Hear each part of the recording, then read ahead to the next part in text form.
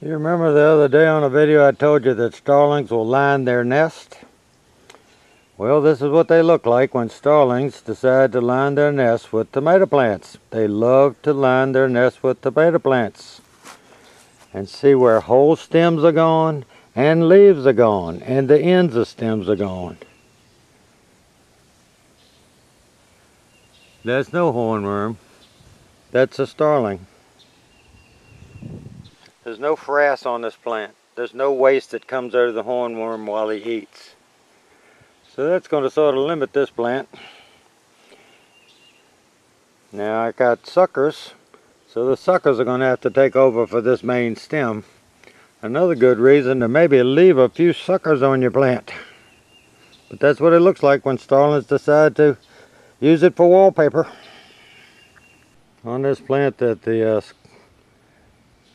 starlings decided to uh, pull a lot of stems and leaves off. I do have a sucker right here. None was there. He pulled the sucker off of that, the end of that shoot. There's a little one there, so this bliss plant will, will send out a shoot from that.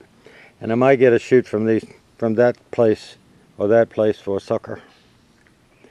Which will put the plant back about a month, but it'll still produce.